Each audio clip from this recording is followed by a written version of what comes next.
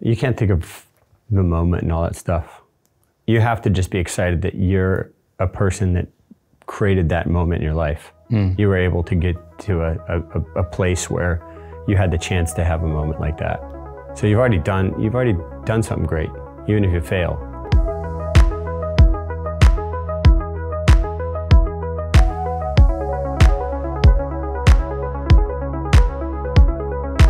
All right, Kelly, welcome to the uh, to the Golfers Journal office. I appreciate you doing this. All right. Um, I, I'm fully aware that you do not like cross sport comparisons, but it's not every day I sort of get to talk to greatness, so I'm just going to go for it off the top. You're aware of that? I'm not really aware of that. That's don't want- every every single writer that talks to you s- finds somewhere in the in the story to write. Kelly does not like cross sport comparisons. Really? Yeah. No, I- I'm not sure.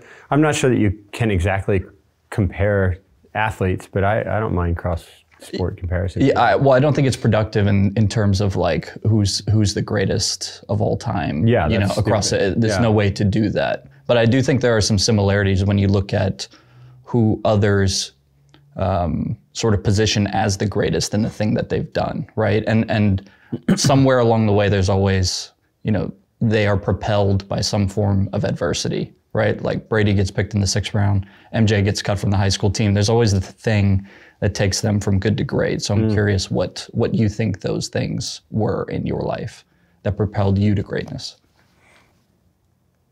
Mm. I think before that happens, there's something mentally or emotionally implanted already from from your life, from family or the way you grow up or siblings or all those sort of things. You know, I've anytime I've been kind of pushed on that, I've always said that I think it was a my recipe was uh, for better for worse, or just a, a lot of different things that that happened in my life that caused me to be super competitive and um, really driven. And um, you know, it didn't hurt that I had a, a brother that was three years older, so I always hung out with the older guys. So I, my level had to kind of push to them, whether it was playing basketball or football or surfing or you know whatever it was, skating. So I was always um, trying to kind of keep up with the older guys, and um, I, I mean, if, if you break it down, there's like mental and emotional things too. You know, with family. I mean, I come from a broken home. My parents didn't have a great relationship. We didn't have much money. Those kind of things, and and all those were drivers for me to to go out and try to make something of myself, and um, um, and I think luckily I found something I really loved at an early age. You know, by the time I was eight years old, nine years old, I knew I was. I mean, I started surfing a little younger than that, but then I started competing at about eight or nine years old, and I really liked it, really enjoyed it because I, I played football, played baseball, basketball, the, all the different sports. Um, not so much in school, but you know, in leagues outside of school, and um, I enjoyed them, and I was, I was relatively good at um, football and baseball. I understood the game really good. Basketball, not so much, um, but but I was such a fan of those sports growing up that I could really read the plays in the field and and understood how to like tap into that. But surfing for me was just something different because it was so individual and it was all everything out there was based on my decisions. And so it was it was really more of a solitary thing that I fell in love with early on. Did it feel like something you could control, like your your the outcomes in surfing? Yeah, I, I with surfing I can control to to some extent. I can control my outcomes. I always felt though that there was something before I even understood what spirituality was or anything. I felt like the ocean and I had a relationship, and if I wasn't paying attention to it or giving it giving it my energy, even when, even as a little kid, I remember going up to Maryland for Christmas one year. We spent like 10, 12 days up there seeing cousins, and I came back and and uh, I remember going surfing, and, I was just totally out of sync with everything. And I, in my mind, the ocean was teaching me a lesson. It was like, you haven't paid attention to me, you're not going to get any, you know. So I just couldn't get a wave that I wanted or be in the right spot, and kept getting caught by waves. And that was my that was the earliest, no, one of my earliest memories of like really having that uh, interaction with the ocean. Um, but I, I always felt like the ocean was sending me messages. Even, I remember being actually younger than that, and with the waves coming in from the ocean, there would there would also be a little waves going side to side near the beach, and I always thought it was friends of mine sending me messages from other beaches, like like a like a smoke signal. And so I used to send them back messages saying like, "Stop! I'm trying to surf," you know. But I don't know. I just was in my own daydream out in the ocean, and um, I, I, think I was it. I'm I'm more of a I I guess I I'm pretty methodical when it comes to competition and stuff. But as far as in my life, I think my creative side is probably stronger than than my planning side. And uh, surfing is very creative, you know, and it. I, I think competition gave me these kind of barriers to figure out how to package the thing, but just going surfing, I just felt really free, and no one else is going to tell me how to do it, and I sat in my imagination a lot of times looking at waves and imagining how I'd ride them, how my body would feel when I'm riding waves, um, the positions I would get into, and, and how to use all my muscles and, and everything right to interact with the board and the wave properly. So I kind of I, I, felt like I formulated my own way of surfing in some way. Do, have you ever put any thought to why it is that you can communicate with the ocean, this relationship? Because it, it seems like throughout your entire career, you know, sort of one of the the thing a hallmark of your career is like when you need a wave, you know, especially mm. late in contests, time after time after time, you're able to like somehow summon it. Yeah, I did that a lot. Of, I did that a lot of times in my career. Why do you think that is? How do you think? Um, part of it's. I mean, there's obviously some kind of luck to it. There's also there's there's obviously also some kind of like understanding I have of the ocean and uh, and of the situation and what's possible. Um, you know, probably the most obvious and and best one I've had in really long time, probably in the last decade, was at the Pipe Masters a year and a half ago, surfing in the um, third or fourth round with Barron. round of 16, I think. Um, yeah, yeah, yeah, round of 16, and and um, yeah, this and there was there was like 45 seconds to go, and he had me on the ropes, and um, I knew I needed a really good wave. And with the amount of time looking at my watch, I'm like, okay, I got 45 seconds left. That means I had just gone over a wave. That meant I could catch any of the next three waves because there's about that day there's about 14 seconds interval between the waves. So just doing the math in my head, I'm like, okay, if if, if it's it's not going to be this next wave, but I think it's the one behind. But if not, I have time to get out to the next one. And um, it was this, I think I ended up catching the second. No, I caught the third one, but I had to, I remember thinking I have to paddle out to it because I have to gain a couple of seconds. I'm only going to have like a second or two once I stand up if I was sitting right where I, I had been. So I paddled out about another probably 20 yards, 15, 20 yards to get to the wave. And when I stood up, there was about three seconds left. Um, and when that happened and I got the score and, and I, uh, at that point, I went, okay, I'm going to win this contest. I just, because I feel like almost every event I've ever won, there was some magic that happened during the event. Just something just clicked my way and my confidence just went through the roof. And at that point, I feel like I lose all fear of losing and it just becomes complete forward on the accelerator confidence. And, um, but I, I don't always have that when I surf. I just, sometimes I need something that breaks that whether I get myself in a bad situation, I claw myself back into the heat, or I, you know, I get my back against the wall. Mm-hmm. It's, I, you know, I've also had I've also had periods of time where I was just dominant from the beginning of the heat to the end, but but my if it weren't for all the wins I've had sort of last minute, I wouldn't have won nearly as much as I have. Yeah. Obviously, but but those just last second heroics have at times propelled me into other events, you know, and maybe I'll win two or three in a row. Whereas I could have just lost and had a ninth place or a 17th or a fifth, and then all of a sudden I go on a, a you know a two or three event win. So there's something that we're, you, you, just have to unlock that confidence, and and um, the, I find the further I get along in a contest too, uh, the the less fear I surf with. Interesting. I mean, you said after that um, that's that wave that you got at Pipeline uh, last year that it was you know you sort of had, had acknowledged you're pretty emotional you acknowledged like I can't believe how many times this has happened in my career yeah um, but also that it could come as a product of just being in the ocean every day. Yeah. So is there a thought that you know, like the work turns into luck somehow? Um, fun turns into luck at work, maybe. Um, yeah, you got to spend that time.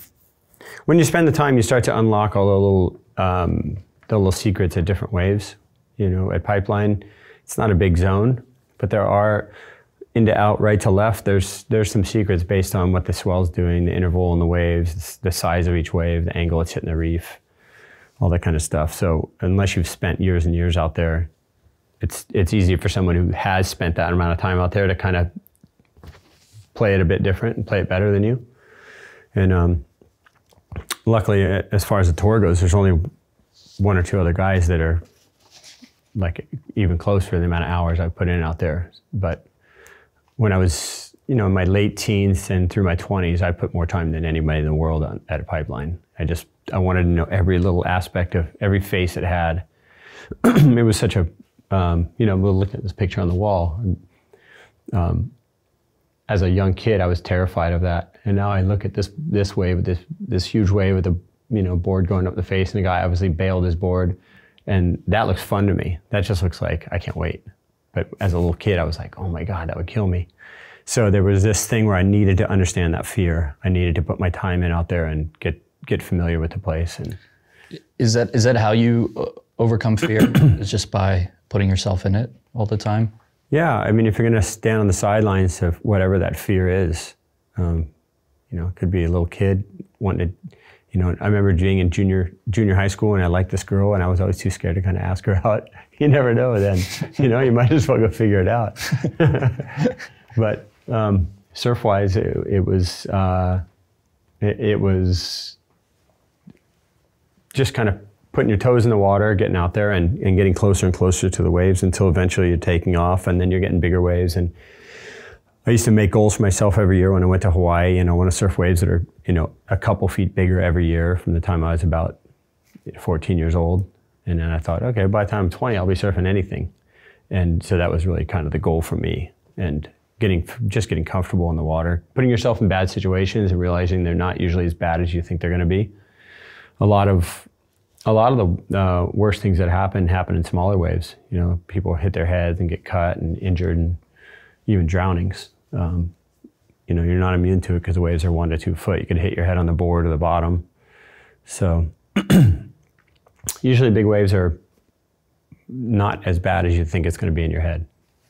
But that also means that there's like always danger, you know, present. Small wave, big wave. Uh, Oh, yeah. Do you do you is fear ever present like even today when you go out and surf? Yeah, I, fear is a good thing because it wakes you up and keeps you on your toes.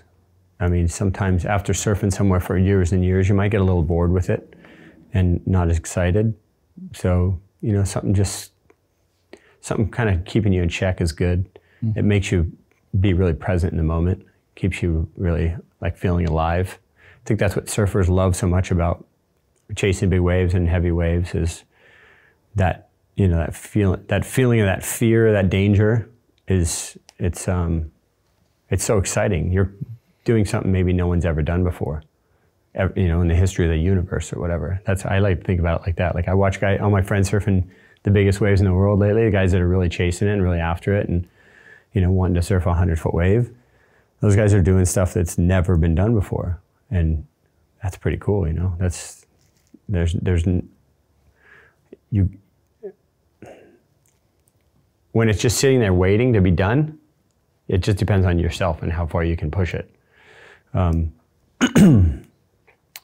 I don't know if guys in basketball think about that. Um, maybe guys racing cars do. In skiing and snowboarding, you know, first descents and stuff like that, that's kind of in that same realm, I guess. Um, the unknown. Uh, I got a friend who makes movies about great whites and different scary animals. And uh, he was saying that his biggest fear was great whites, so he started making movies about it. And he, it, he realized that that ex- that being around them made him feel totally scared, but also like really present, really really like with himself and with the people around him. And he said it became really good for him and his family, like with his kids, he's more present with them. But he needed to kind of understand this fear first. Yeah. It's kind of like a, I I think exposure sort of therapy is uh, like a, a technique that's been used in, you know, cognitive behavioral therapy for a while. Yeah. It's like if you're scared of knives, here's a knife. Look at the knife. Yeah, yeah. Touch or an ice bath. it. Just jump in an ice or an bath. ice You'll be alive Yeah. right now. Yeah. So if you're scared of big waves, you just got to go seek big waves, I guess. Yeah, but you you know, not in a dumb way. You don't just jump in like, Sure. oh, I'm going to surf a big wave. Like you know, I just started surfing. I want to do something that scares me. I mean, if you just started surfing, so- anything should scare you. Yeah. You- You're unfamiliar with what's out there. Not- uh, that's one thing. A lot of people will say, "Oh, I couldn't surf. I'm too scared of sharks. I don't know what's in the ocean."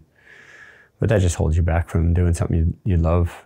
And uh, but yeah, big waves. I think you, you just have to work your way up to it. And I think that you're. I think people need to assess their skill level and match. they'd be able to understand what their skill level is and how they can match that to the type of surf they're riding. You, see, you do see a lot of people who really don't know what they're doing, get themselves way over their head. And maybe they can hold their breath for a long time, but it doesn't mean that they understand how to ride those waves. Sure. You know? So like a fear button is good. Fear is good. Um, you mentioned it uh, just a moment ago, but the idea of being present. I've always, because I do not surf uh, and have never surfed, the the yeah hmm, uh, the um, that moment, like when you when you do catch the wave that you need the most, and you stand up on the board, seems like such a fleeting moment to me. Where, you know, even great rounds that we remember in golf, Tiger at you know in 2019, that's a five and a half hour round where you're in it, Yeah. right? What is that? What what does it take to? Okay, now you got the wave that you needed to get, and now you have to perform. How do you toggle? What is that? Is there a switch that occurs between? You can't think of all that. You can't think of the moment and all that stuff. You have to just be excited that you're a person that created that moment in your life. You were able to get to a, a, a- a place where you had the chance to have a moment like that. So you've already done you've already done something great, even if you fail. Um, but the, the the idea that you can cut all the noise out, just get rid of all the white noise and just focus on the task at hand. You know, for us, it's we have a wave, and the wave will offer you a certain thing you can do on it, and um, if you can match your skill to what the wave is is uh, offering you, and the wave's good enough to get your score, then you you know that that moment might happen. But yeah, it's um, and my my mom used to occasionally come to events, um, and she would, if I was losing, she would leave the area and not watch, and then I would come back and I'd win my heat, and she'd be like, you know, you were losing when I was watching, so I left. So she she built in it to her mind that it was because she was disappearing, like somehow she was controlling it, but I I think it goes a little bit, maybe, maybe almost deeper than that in a way because as a kid, um, I was always late to school. I'm still late to everything, but as a kid, my like my mom would somehow sometimes you know jump in the car. Okay, we got to go. You're late to school, and then the car wouldn't start, and I'd be late, way late to school. And uh, I feel like we were always like slightly unprepared at my house, and uh, we didn't really plan things out that well. But um, when I compete, it just forces me to. It, it gives you these barriers, and and you know what you have to do within that, or you have an idea of what you have to do based on what the other guy's going to do. And um, if you're if you're educated enough about what's possible in surfing, where the other person's level they're at, what their what their strengths are and weaknesses, and what your strengths and weaknesses are, you can kind of put that whole equation together and and work it out. And, and the best times are when it comes down to that last wave, the heat's ending for either guy. You know, it's really exciting when that when that happens. And um, and you know, I've been on the receiving end either way, getting the score or having someone else get the score. And you know, it sucks when it goes against you, but those also fuel the fire. I had a heat in um, 2008. I was in Indonesia at Uluwatu. We had an event, and I was surfing against someone who, um, on paper, wouldn't beat me in those conditions usually. And uh, with about less than two minutes left, I had priority. I was winning the heat. A good set of waves is coming, and all I had to do was pick the good wave that was coming. and something just came over my mind. I, got, I just started thinking about the situation. Like I wasn't just present, I was like actually just in my head thinking.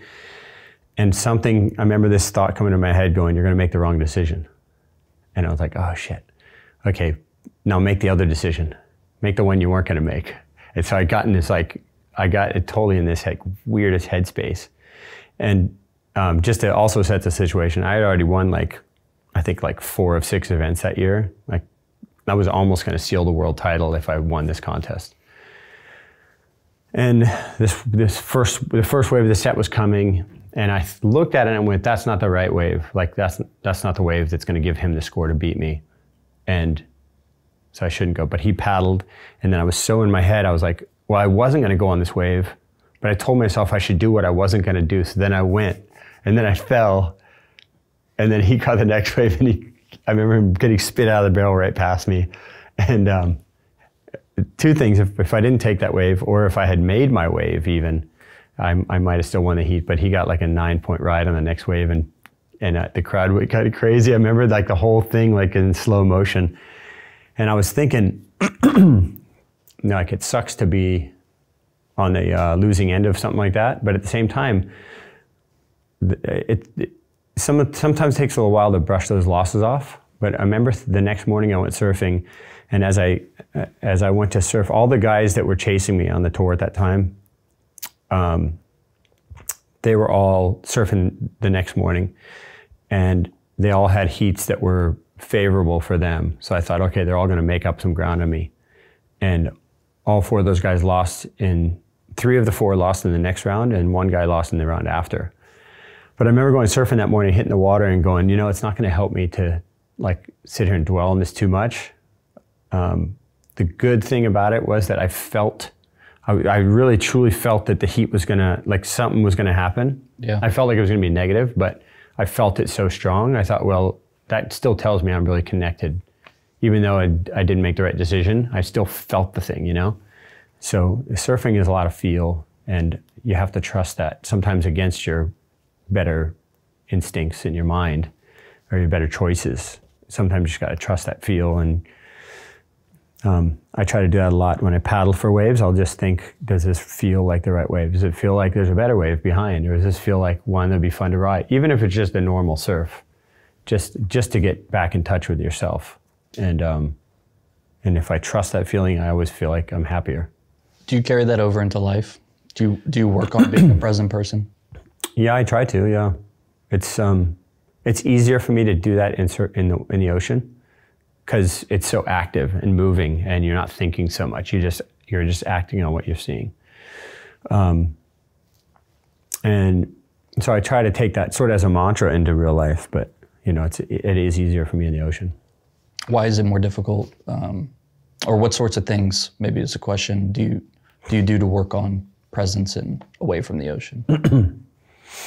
Um, I'm an overanalyzer, like an overthinker. I've always been like a perfectionist. Same. Um, so I, I get in my head a lot. So if I can if I can do things that kind of get me out of my head and just get me moving and active, uh, you know, working out, or we mentioned ice baths before. Heat and ice baths are. I think it's great for everybody. You know, it's. I mean, health benefits are awesome, but when you jump in the cold, you're not thinking about your problems. You're thinking about just the physical feeling right then. Yeah. And then it, when you get out, you have all these endorphins, and you know, chemically, it helps you a lot. So. You've been healthy for a long time, like uh, to surf it to compete at the level that you have for a long time. Mm. Uh, I imagine takes a, a, tremendous amount of work. What um, what have you? Did you figure out something that others haven't, or is it consistency? What do you think has allowed you to compete to the um, level that you want for 40 years now? Yeah. Yeah, it has been. It's been. I've been competing for 43 years now. It's crazy. um, I think. Um, well, as I, I just I love surfing as much as anybody in the world. Probably, I just love to surf. um, as a kid, that was just the driving force and then it became really like infectious to win contests. It was very exciting. So there was always that drive and that draw for me. Um, but as I turned pro and I wanted to have a long career, I really got into diet and understanding board design. And um, I mean, there's so many things that go into uh, in, into the final product. it's it's your thought process. It's growing as an individual and a person, being more being aware of the world around you um, and other people. Um, just trying to be tuned in at all times to, to different things, whether it's people or waves or travel or I don't know. I have a lot of interest outside of surfing too. I do a lot of reading and I like to play music and golf, obviously, and um, jujitsu. And but I, I, love physical things. Um, um, I do read at night. I kind of read online and stuff, but I don't read books. I, I got into reading books for a while. I really loved it, but I just haven't done it for a long time. What do you read for, now? For some reason. Oh, I, I just anything I'm interested in. I just random topics. A lot of, a lot of, um, a lot of stuff about cooking. Actually, I love cooking. Yeah. Strangely enough, my girlfriend and I cook like three times a day. So, um, but I read about places I go, travel to, things I should do when I'm there, place mm-hmm. I need to see. Um, um, I don't know, various topics. How has your diet uh, evolved over this time? I know there's always new theories sort of yeah. being pushed. Um, where's where's yours at currently? How has it evolved? Um, I'm not super strict. I'm not super disciplined. I just try to cut out the sugars. Um, you know, in the past year, I've really tried to cut out all the oils, seed oils, the sugar, and the carbohydrates. I just don't eat a lot of bread. I love bread, but I don't. I don't eat a lot of it now. Um, corn chips. I used to be super addicted to corn chips. How could you not? Yeah. Yeah, exactly. Um, but I was actually allergic to corn, and I was getting like asthma from it, so I had to cut that out for a while, for a few years. Um, but yeah, sometimes I get really uh, super into my diet, and uh, now I've kind of probably settled into this. I just try to eat as much unprocessed food as I can. Just try to cut out all the snack foods. And if they if I'm snacking on stuff, it's usually just like some nuts or fruit, um, something healthy. Would you claim that you are not disciplined, or is that just in as it relates to diet?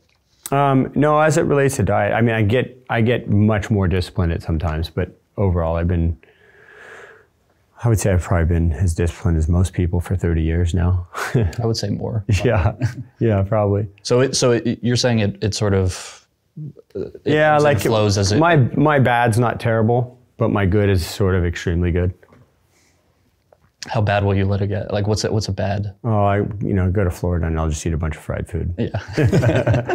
Last year I put on about like 10, 12 extra pounds, which I've never done. So I went, I said, then I did like a five day water fast and then went keto for like three months and I lost the weight. I, I actually lost like, I think I got, I think I lost ultimately like 17 pounds, which is like, I don't have a lot of weight on me, you know, but I was just trying to trim down. I was trying to get back under 160, which I haven't done since I was probably in my 20s. I've always been like low, low one, low to mid 160s for a long time. But I got back to like 161 from like upper 170s which is that's pretty big for me. Is it, is it contests that help you like flip flip back into discipline mode? Yeah, I think so. It's that's that's definitely part of it because then there's a goal. You know, you you have this this date and this place and time that you you have to you know you want to be at a certain size. Yeah. Not like a not unlike a fighter. Mm-hmm. You know, I watch a lot of MMA, and their discipline's incredible. Like doing six week camps leading up to fights. It's it's a little harder for us to do that. We can do that kind of leading into the first event of the year, but then you're just on the road, on the road. So you got to try to keep track of your diet and your sleep cycles and your boards and you're surfing enough and all that stuff. And also having a little time to have fun with your friends and all that. So being disciplined all this time has been great. I mean, for my career, it's been wonderful, but sometimes it's driven me a little bit mad. You know, sometimes I just want to break from it all. Yeah. But it's, uh, it's kept me healthy and fit. And you know, you mentioned before something about, um, well, like something that was making me think about how I haven't really suffered from injuries.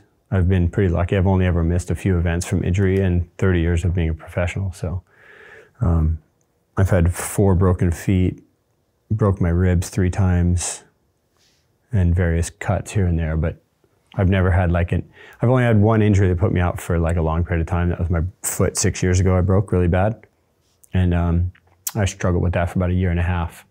But that was when I was 45 years old already. So pretty much had 27 years of being a professional without a major injury.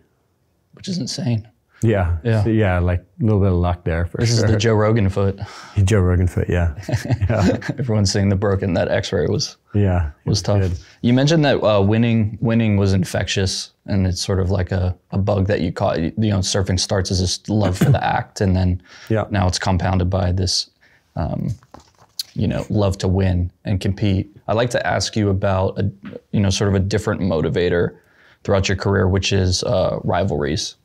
How much did rivalries play a part um, in the middle of your career, as far as um, just pushing you to levels that maybe you didn't know you had? Yeah, everyone needs a rival to push and, and get that focus. You need someone. It's. I think it's good to have um, rivals that you're friends with and rivals that you hate. Like both of them are good for sport. Um, as a kid, growing up in all the local events, I definitely had a couple rivals. Um, you know, my local rivals in Florida were like all good friends of mine: Alex Cox, David Spear, um, Danny Mojado and the four of us pretty much like ruled our division all those years. And then it would go into like regional, East Coast, international, uh, national, you know, national titles, U.S. titles, and then internationally. And so I, I feel like I had different rivals at each stages of those. Um, you know, each year at our East Coast Surfing Championships, that was a big event for us. It's not as big of a, uh, that's not as big of an event for the West Coast, but the East Coast because there's so many states and so many different surf cultures. Um, you know, you don't really hear about pro surfers from Washington and Oregon, and generally no one north of like maybe San Francisco. So it's basically like central Southern California. but on the East Coast, there's all these pockets of really good surfers all up and down the coast. And so that was a really big event for us. So each year there was like, okay, there's so and so. You know, I remember the one year there was a kid named Damien Bibick who flew from Australia, moved to the East Coast to surf in that East Coast Championships, and he was pegged to win the thing, and I beat him. And that was like, I I actually remember going to that event. I think I was like 13, 13 or so, and I remember my dad met this kid, Damien's dad, and he was telling my dad that he didn't know who my dad was. They were just talking on the beach, and he goes, "All right, yeah, my my my son's going to win this contest, and he's going to win the U.S. championships, and then he's going to win the worlds and all this stuff." And my dad's like, "Ah, cool. All right, he must be pretty good, you know."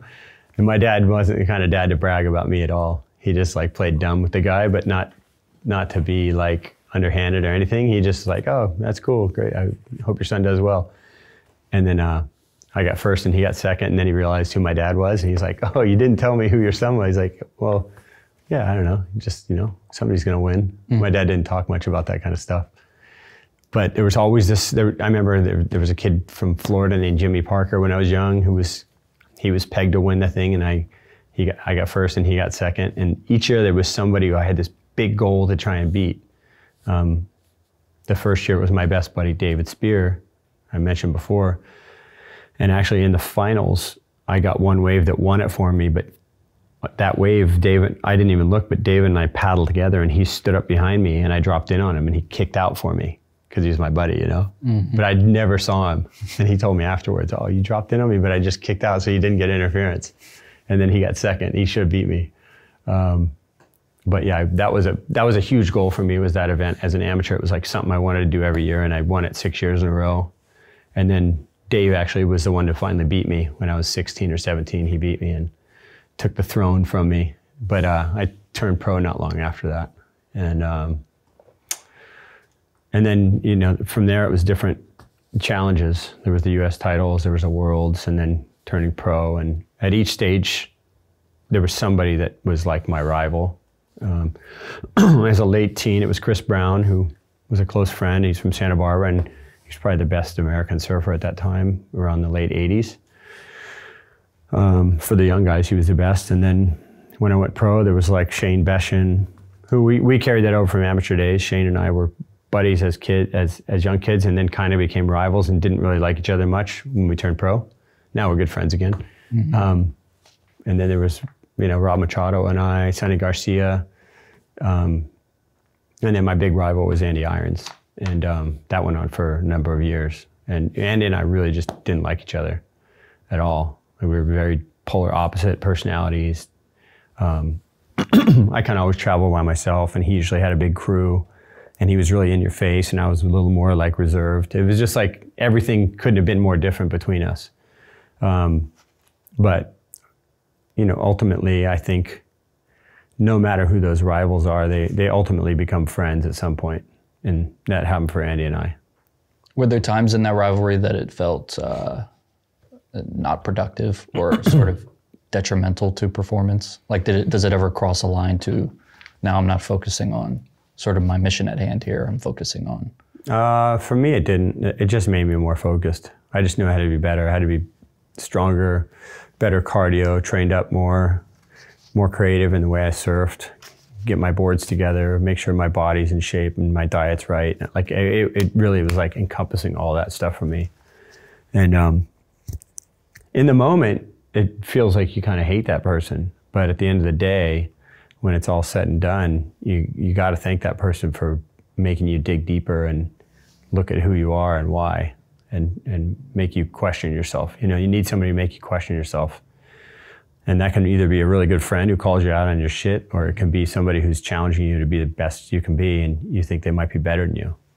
So, is there ever a time that you had to conjure up a rival in your mind to get you going? Yeah, um, I would create problems in my mind with people. Like I would sort of imagine I had beef with somebody because it would just get me so like in the moment and present to beat them and they, they would have no idea. I would just kind of make something up in my head sometimes. but this happened a lot when I was in my early 20s.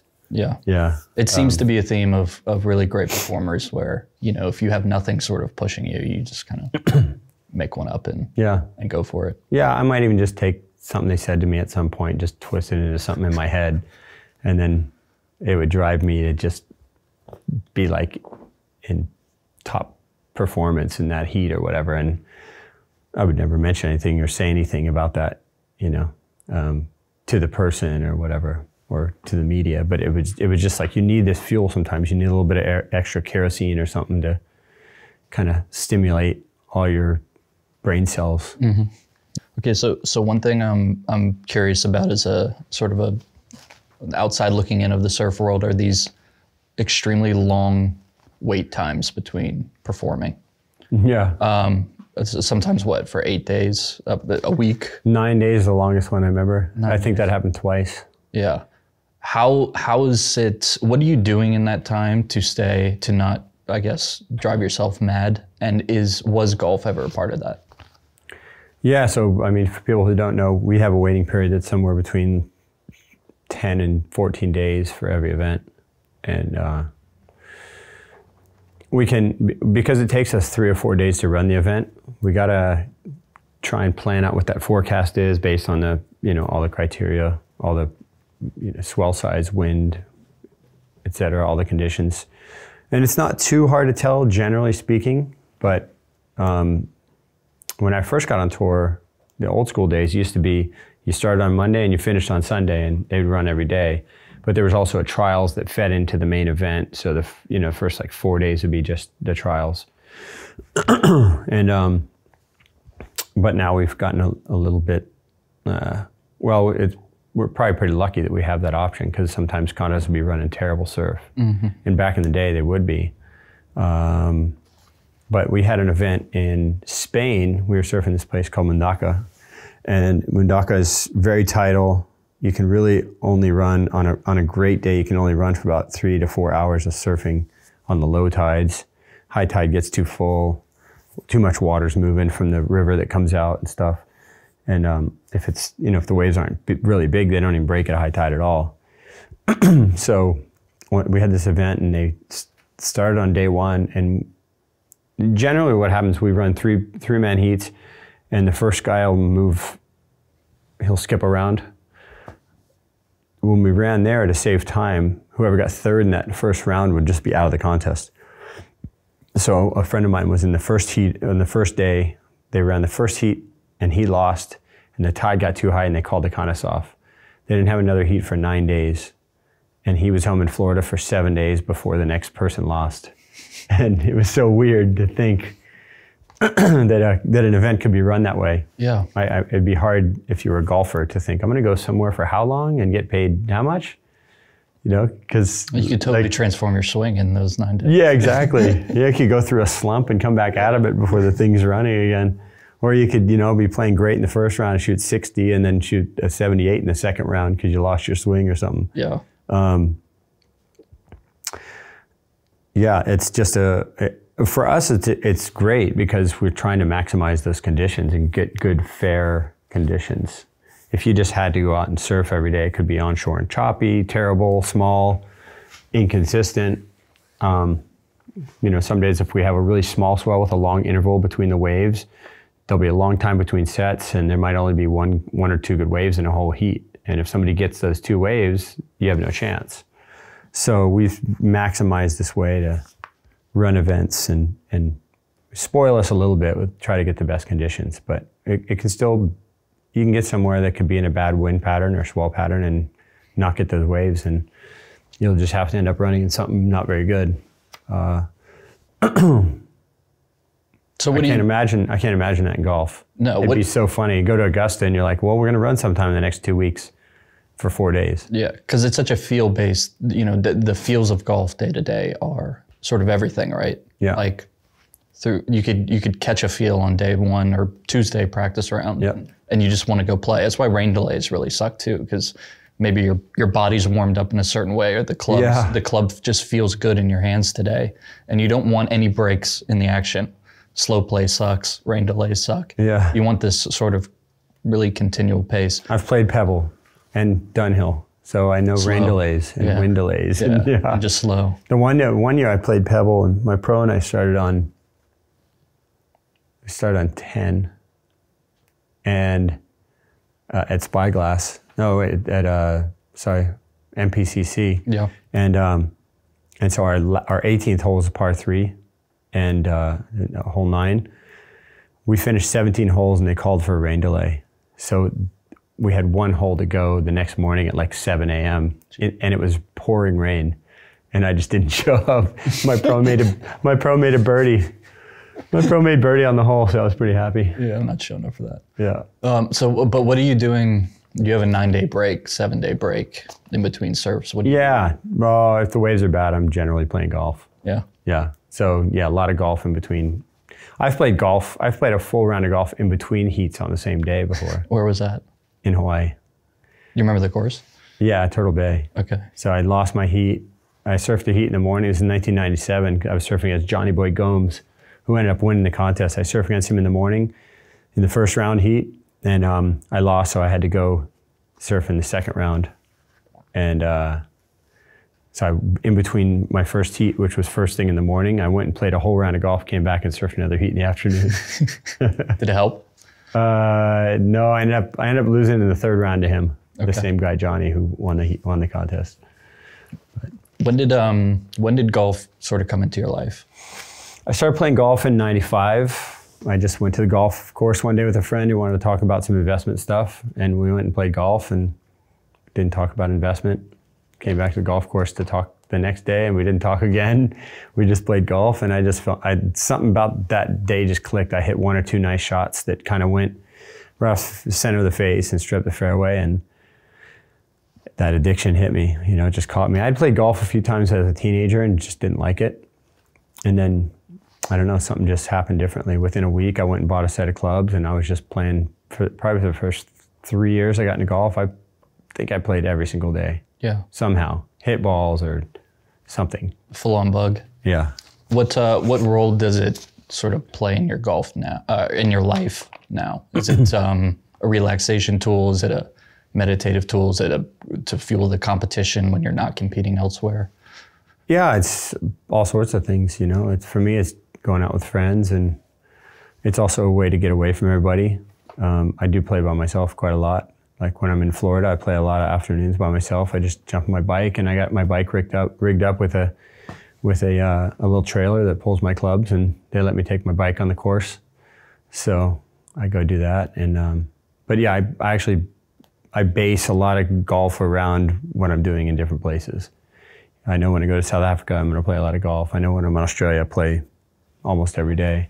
Yeah. Um, in Hawaii, it's a couple, few times a week. So, big part of my world at this point. I heard a rumor that you have uh, sets of clubs sprinkled throughout throughout the world. Yeah, I got I got quite a few sets around. yeah, I feel like I got too many sets, but I basically my old sets I just leave in different places around the world so I don't have to carry them because I got to a point where I was traveling around the world with a big board bag, some kind of an instrument, a guitar, ukulele, and a, a golf set. Uh, you know, a bag bag of clubs. That's a lot of crap to carry with you and fit in your rent a car, especially if your girlfriend comes and she's got her bags. Oh yeah, it's not happening. Yeah, and it's a lot of packing, a lot of a lot of overweight fees. Um, but yeah, I've just kind of left golf clubs around the world over the years. What I also heard that you were a fan of Moe Norman. Mm-hmm. Is that true? Yep. Uh, what? wh- How did you come across Moe, and what, uh, what do you like about his the philosophies that he was pushing? Yeah, I was. A, I- I'm a huge Moe Norman fan. I mean, I've probably watched ninety percent of everything that's ever been filmed of the guy. Yeah. I've just gone down these rabbit holes for years and years now, for the past fifteen years. But so the the, the, the first golf magazine I ever bought was a Golf uh, Digest. They had done like a thirty-page article on Moe, and it was right when I started playing golf. And I was like, "Wow, okay, this guy is this guy seems incredible."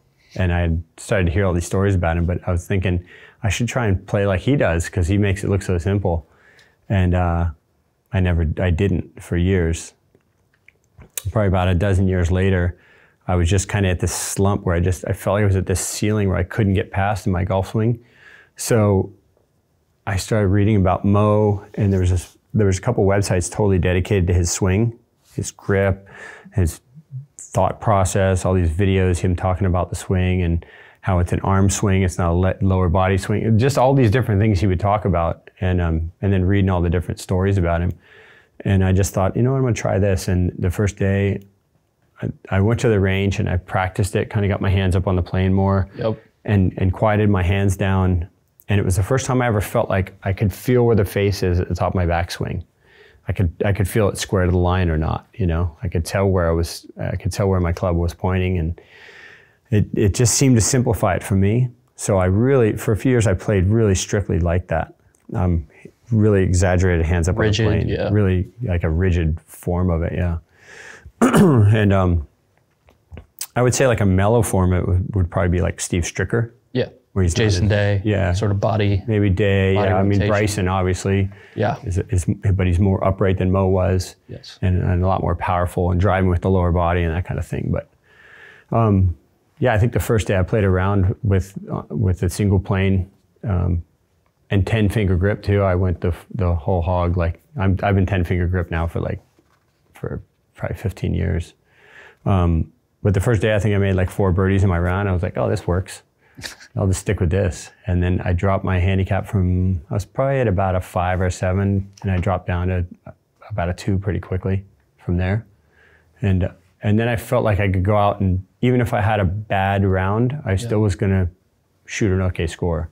I wasn't losing the ball, you know, my, with my traditional swing, I would just get the face shut so much and hit the ball so low. And, um, and I wasn't dropping the, the club down and in. I was just kind of like whip hooking the ball a lot. I was just the way I was getting the, the club set at the top. Um, yeah, so it just simplified the game for me. And then I've kind of come back to a version that's somewhere sort of in between a traditional, it's just a more relaxed single plane, I guess. It's not really extremely like reverse modified load wrist. version. Yeah, it's like a modified, Yeah. modified. It's so not the the the style that I would think. Just a, a an artist, you know, somebody whose whose profession is so based in feel and you know creativity and stuff would would be I- attractive for. But I, I also like as I watch videos of Moe, I think he was an artist. You know, Well, he was. It's he was true. so unique. He talked. He was not scared to offend anyone.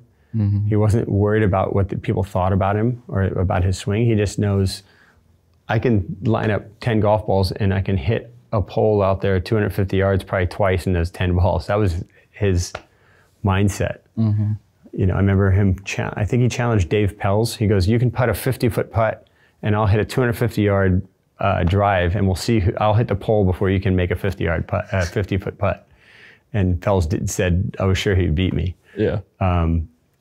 But all these weird stories I'd hear about him. You know, I heard this story. He was playing in Florida. He was playing with a Canadian pro.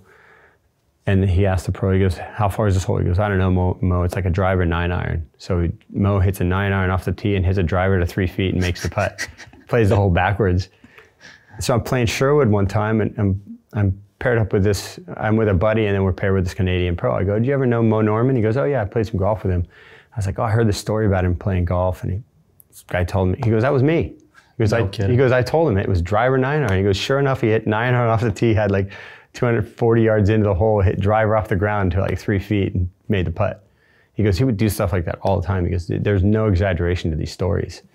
And um, So we can, we can confirm that one. That legend. confirmed that one, yeah. And uh, I don't know. I just, I, I'm sure that with anybody, with any story, there's a little exaggeration to it, and there's probably that with some of the stories. But when you listen to him talk and hit, and you watch him hit balls, and you see the ball flight, and you hear the sound coming off the club, it was just, it was so enjoyable to see somebody like that. And although I never met Moe, met Moe, he played in Central Florida like six months a year, and he played with some people that I know. Um, he played at the local college, Brevard Community College, and uh, so I, I, I guess because I, that was my first golf magazine I ever bought, and because he was in my hometown for a lot of those years, I felt some sort of, sort of kinship with him, because he saw the swing differently, and I always felt like I saw surfing differently. So I, I was related to him, and um, yeah, I think there's some part of his mind that was so obsessive and so in love with golf, and that's the way I've always been with surfing. So I, I really kind of have always gravitated to anything Moe Norman I love because it's just so quirky and interesting. Yeah. Who would have thought? Kelly Slater, Moe Norman, Spirit Animals. Yeah, he's my he's my golf spirit animal. Yeah. Where are the places when um, you're traveling around the world that you circle in the calendar? Like, I can't wait to play golf here. Yeah. Um, I love playing in Hawaii. I, I play Turtle Bay a lot. I, I go outer islands sometimes, and I, I go over to Makena and play.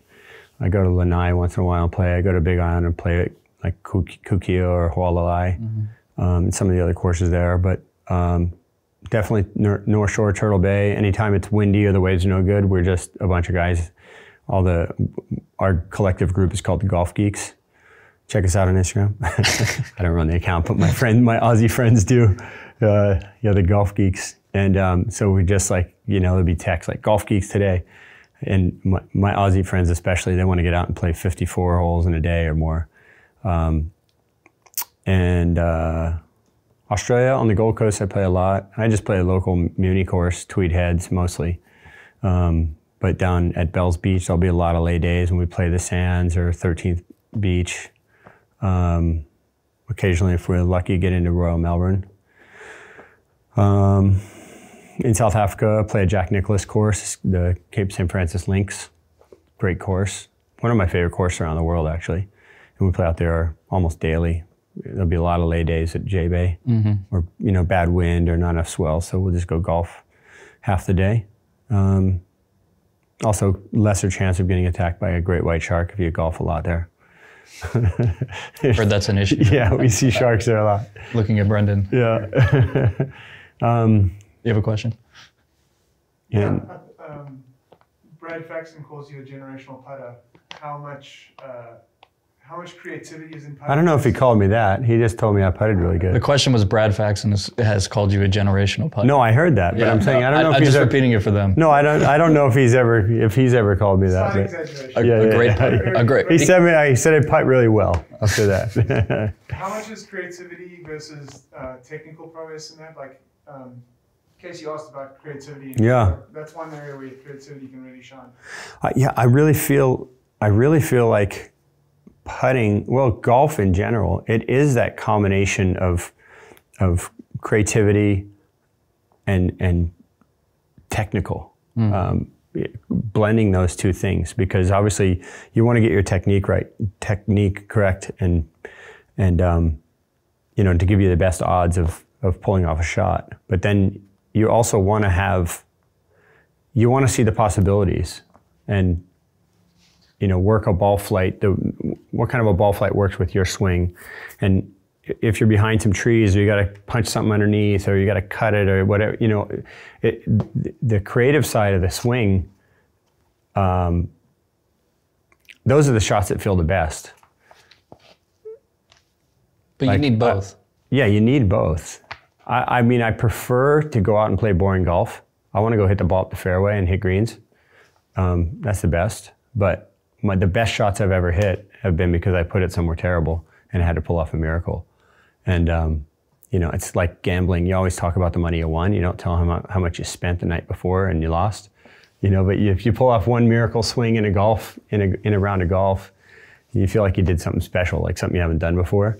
I, I like that challenge of you know completely blowing a hole making a great putt and walking off with a par. Um, it's like the the opposite of playing a great hole and then three putting. Um, but I, I love the blend of putting the creative in with the technical. So I, I'm I feel very technical when I set up to a shot, and I'm I'm getting my my body and the and the club everything where I need to be. But then imagining the ball flight and, and picturing how the shot should work it feels like the creative side to me. And I think there's a really good blend of that in golf you have to be imaginative. Sometimes you just got to take your medicine and punch the ball out. But other times, you know, if you pull something incredible off, it gets it gets your round going. You know, it's almost like when, when I was telling you certain events. I feel like if something, if I can sort of pop the lid off of it by winning heat that I shouldn't be winning. Same thing in golf. I feel like if you make some kind of great shot, for me, I either like to, I like to get my bad hole out of the way early on like the one of the best rounds I ever had. I shot 69 and I triple bogeyed the second hole. And from there on, I, I almost made a, a one on the third hole. I had six birdies coming in, didn't make any mistakes. But if I didn't triple the second hole, I probably would have shot like a 74 that day. Like I needed something to like get me focused. And um, I don't know. I, I, that's the that's the thing you love and hate about golf. I saw a post from this guy the other day, and he was talking about he was hungover. He was talking about how much he hates golf, and he was like, "I was hungover. You know, on a good day, I'll shoot in the 80s." He's like, "Today I went out and shot like an 82 or an 84." He's like, "I don't get it. I'm super hungover. I had no idea I was going to play any good today. Goes, other days I sleep early, I wake up early, I get, I'm totally prepared, and I go out and I shoot like a 95 or 100. He's like, and you scream. I remember he was just screaming at the camera, and I was just thinking, everybody feels this way. Yeah. You know, Yes. everyone feels this way, no matter if you're, you know, one of the top guys in the world or just beginning. And it's, in fact, it's probably easier if you're just beginning because you, you know, you're like, oh, this thing's just super hard. But golf sometimes just doesn't make any sense. No. Yeah, I'm not playing anybody that's hungover. My buddies know. Like, you're, it's a recipe for them to just Yeah. just shoot Yeah, you six, just don't seven think- under. Yeah, you You're just don't think that- surviving. yeah. you know that's what they say about uh, injured golfers as well. You know, but as you, I, I had a I, I had a guy tell me he caddied for a, a pro I won't mention back in the 70s, maybe in the 60s or 70s.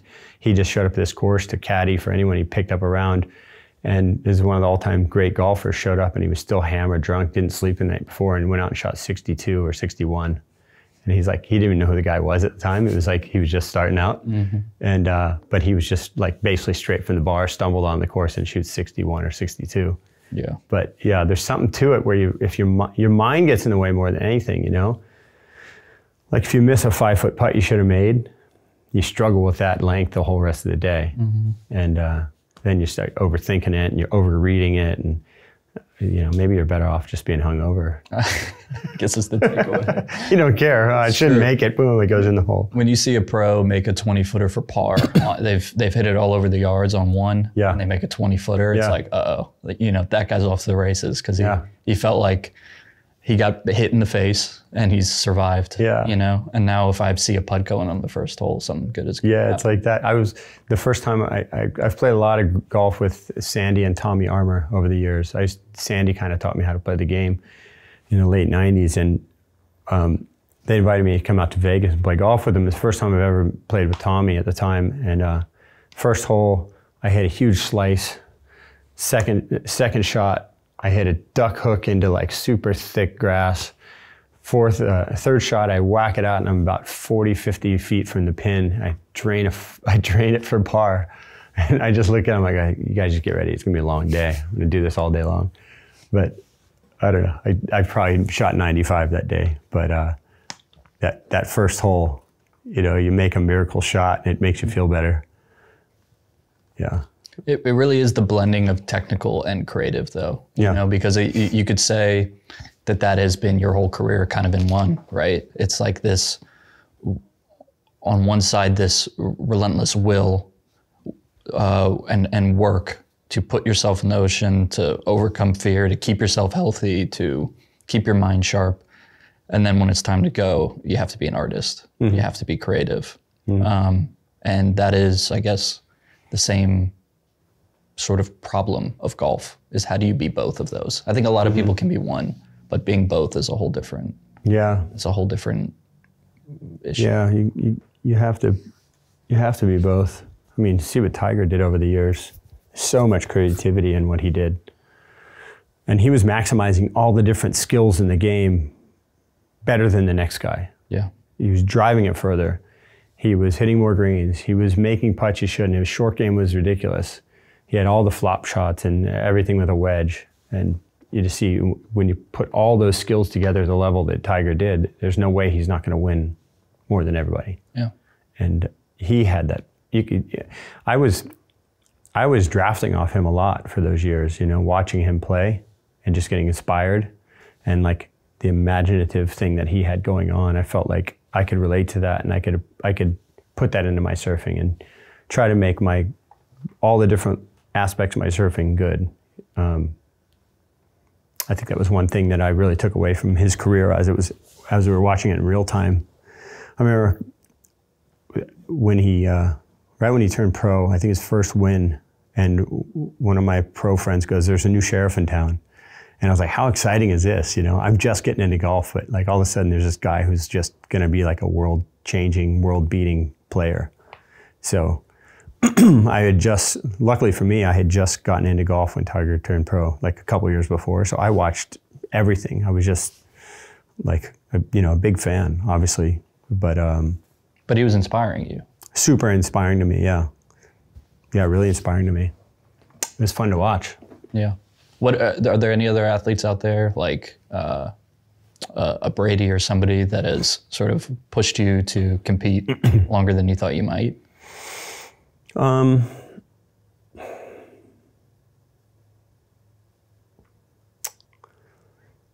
I don't know. I, I maybe George Foreman. To be honest with you. Okay. You- When Tell I me- was tell me about that. Well, I was like 18 or 19. He was in his 40s. Mm-hmm. Uh, maybe when I was 20, something like that. And he was in his 40s fighting for world titles at that age. You know, against Evander Holyfield and Tyson and all them. And he seemed ancient. You know, and he was years younger than I am right now.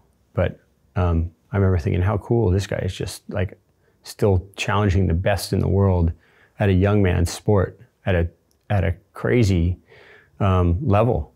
And um, um, but I, you know, I grew up watching Tyson. I was a huge Tyson fan. That whole him and Holyfield era was super influential to me because that was he was already he was already already the world champ before I ever um, even turned pro.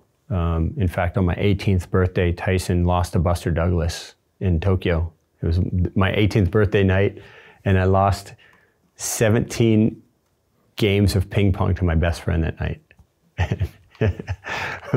but uh, I don't know why that that night seemed like I think that night actually inspired my whole professional career. Um, I only bring that up because th- that friend of mine was like my, he's like the fourth brother in my family.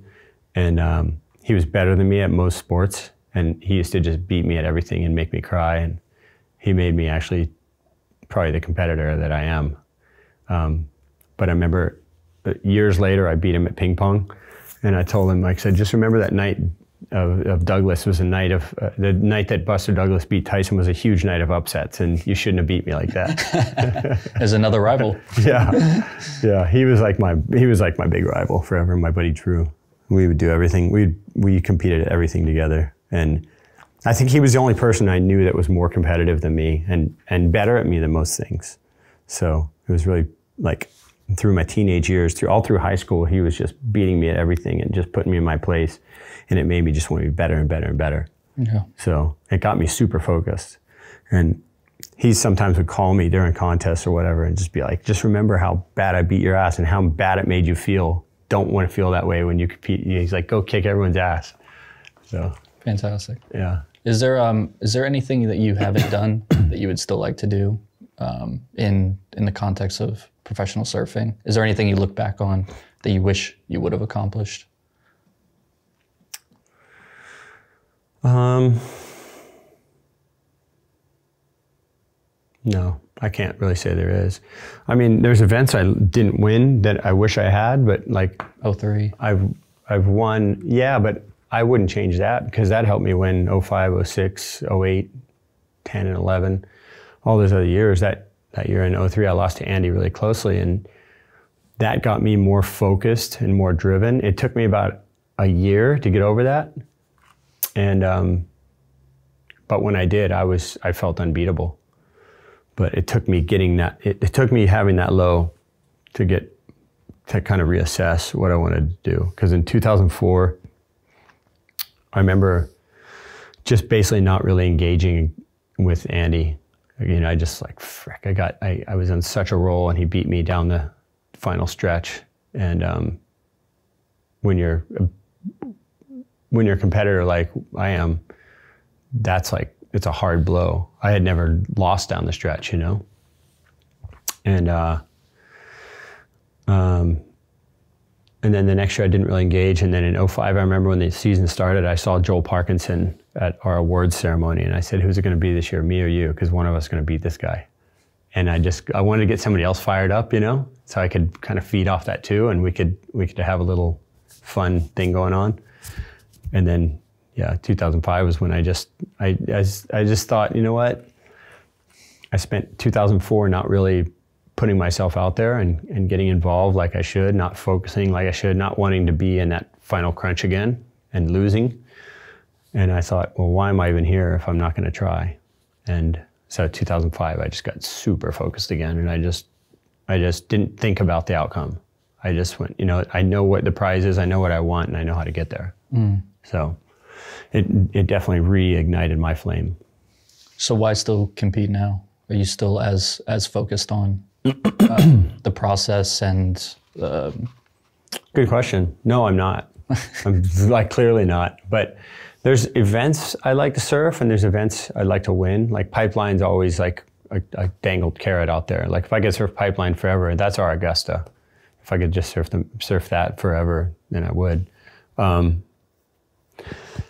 I, to be honest, the last probably three, four years has been just this idea of trying to get into the Olympics, and I haven't really been focused on being at my top for about the whole year. Um, if the waves are bad, I kind of give a half-ass effort. It's I probably never thought I'd say that, but I also I I did make a, a plan where I wanted to surf until I just didn't want to do it anymore, compete. So when I'm done, I'll be done. I'll be like I won't even look back. I might not even pay attention to contests anymore. Um, so I'm getting close. Let me win pipeline this year, and I'm freaking out of there. so what is it about the Olympics? I don't know. The Olympics was never my goal because we didn't have it in Right. surfing. So it's only really become reality in the last few years. And then I just figured at the tail end of my career, it'd be a nice bookend if I could get in the Olympics. But I just, I've been slightly injured for the last couple of years, and I haven't been motivated like I normally am. And you got to want it, you know. You got to like eat, sleep, wake up thinking about surfing or whatever it is you're doing in order to be the best. And um, um, I don't know. I'm going through a. I would say I'm probably going through like a little bit of a withdrawal, or like a a, a tailing off of um, kind of detoxing from competition. I like the idea. uh, You know, I think the ultimate for me would be that I go out and compete, and I don't. I truly don't care if I win or lose. If I lose, I'm just as happy as if I won, and it like no difference. Um, like there's some sort of spiritual thing in that for me. Um, it's not a reality yet. I still get pissed off when I lose, but um, and I know where my level is. You know, I know that like my air game's not up where the top guys are. Um, in fact, I've struggled to even do airs last couple years because of my my hip injury that I've had. Um, I walked around for about a year and a half just now, like hobbling with this, just thinking I'm gonna have to deal with this pain forever. And then I got a surgery like two and a half months ago.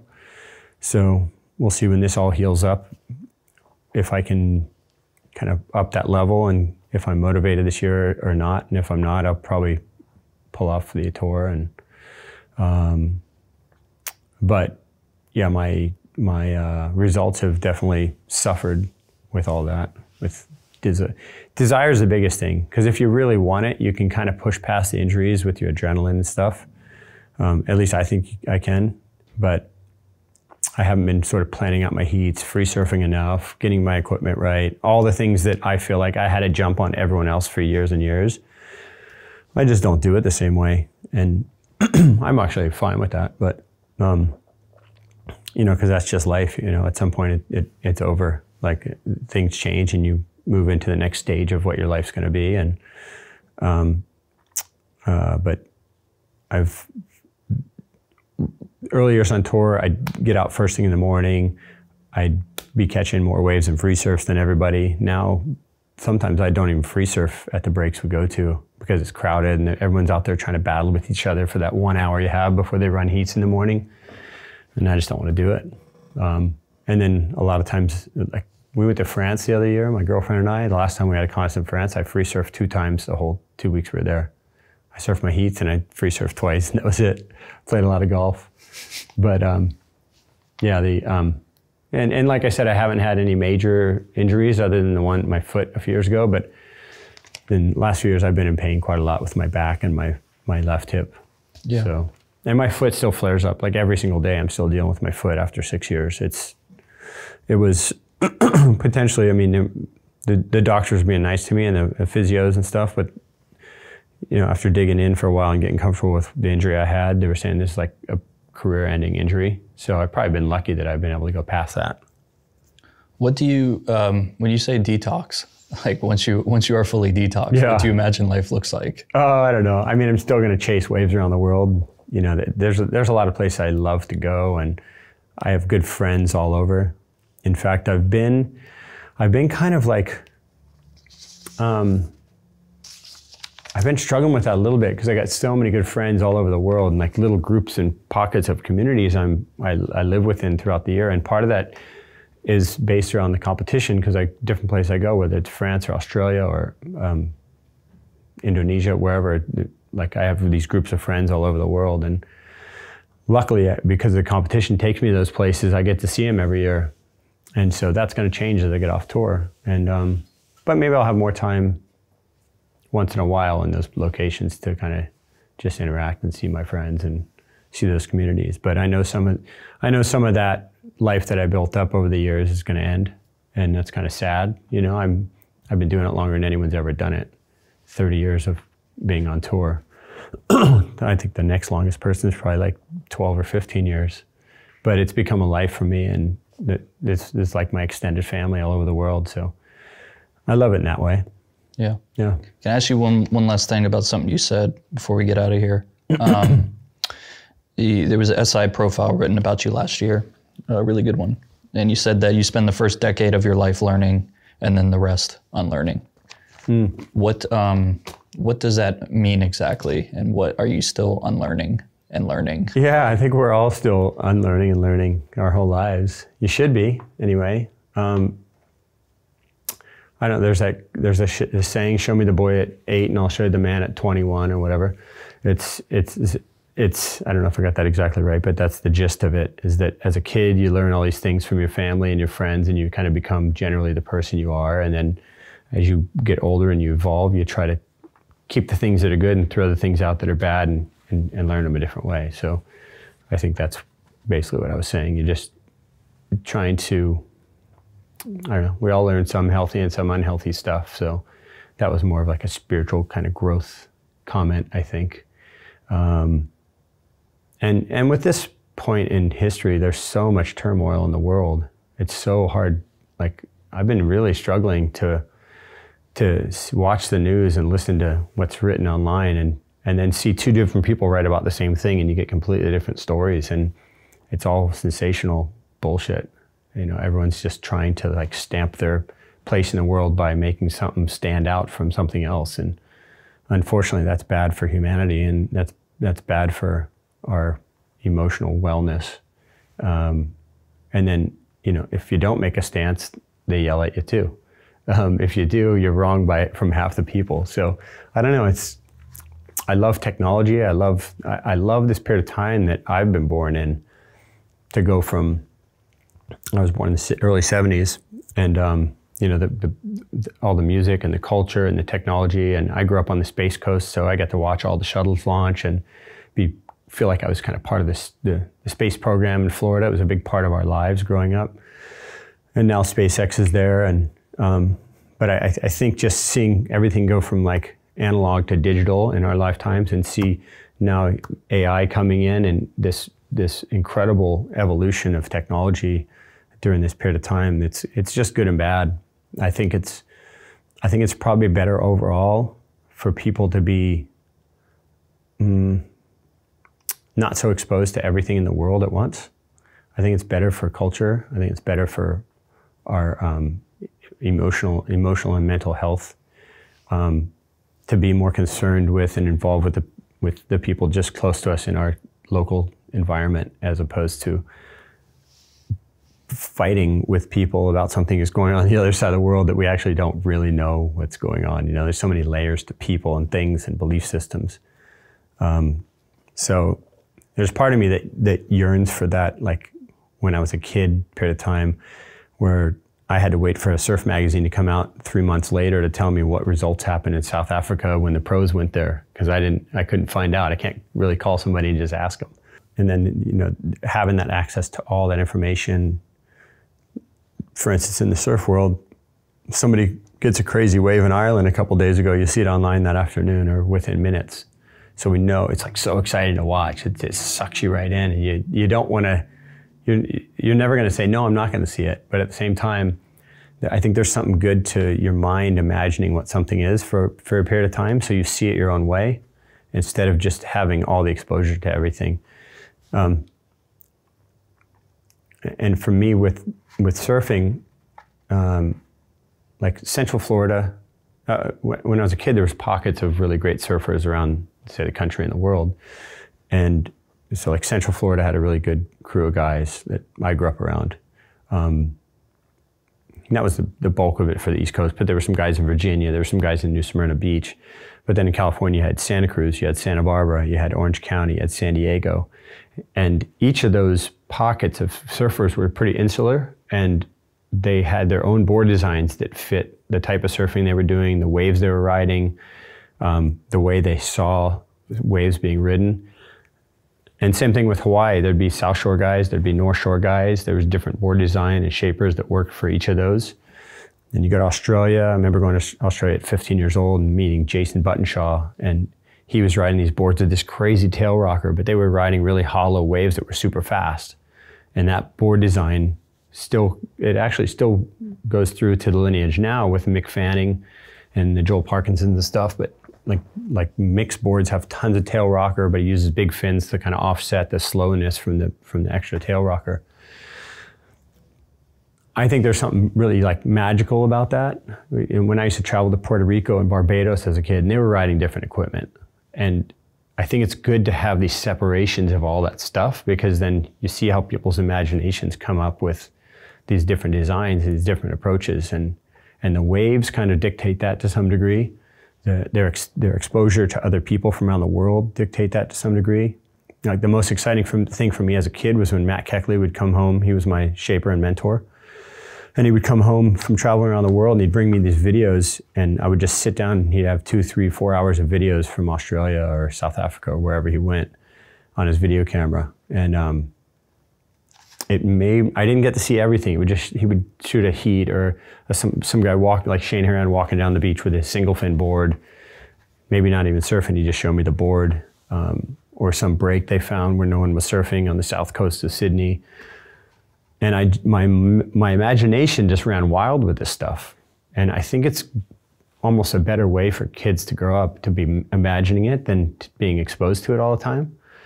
Um, if you, you formulate your own opinion, your own way to deal with that or, or learn it.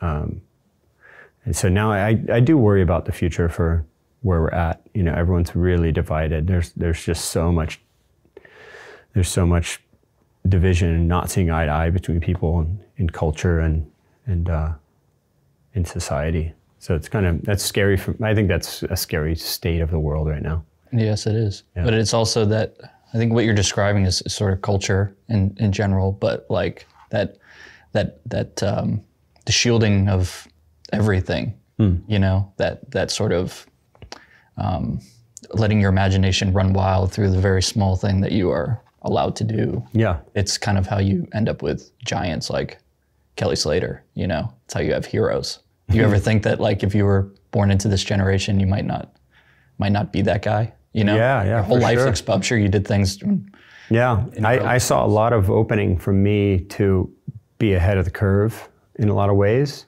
because of where everything was at and where I imagined it could be. And um, I got on the tour the first year and I, I, I remember telling one of kind of one of my sort of early heroes. He was done with his pro surfing career, but he worked for Quick, uh, Quiksilver at the time. And he goes, It was my first year on tour, and we were in Sydney. And he said, Oh, what do you think about the state of surfing? And um, he goes, It's really great, isn't it? Like, and I, I said, Actually, I don't think anybody's surfing that great. And he goes, Are you serious? And I go, Yeah, I just actually don't think it's that good. and he was like, Wow, that, I don't know if he thought I had a crazy ego. It wasn't my ego. It was just that I could see where surfing could be and I felt like the equipment and the surfers, the, the, way people were riding waves was was archaic already. It was it was like already antiquated, even though it was the the best guys. because I I was seeing where my friends were pushing it, and we were much younger, and I could see where it was going to go. And now we're there. You know, now I so to answer your question, yeah, if I was born today, if I was just say turning pro right now, I think it would be really, really I'd be super hard pressed to do what I did. Um, it's just a different era. It's a different time. It's you're seeing almost every year somebody else wins a world title. You know, no one's been able to really pull away. I thought Gabriel Medina was going to do it. I thought John John Florence was going to do it. Um, you know, Felipe looks like the guy right now in the waves that determine the world uh, title, anyways, at Trestles. Um, but I think it's harder now for someone to really stamp their authority and pull away than it was um, in the 90s and 2000s. Yeah. Well, I'm sure we could go. We could do three more hours on this, but thank you. uh, appreciate you coming down here. Sure. Um, to the Golf Journal office on a weekend and doing this. It was no problem. a lot of fun. Thank you. Yeah. Thanks, man. Appreciate it.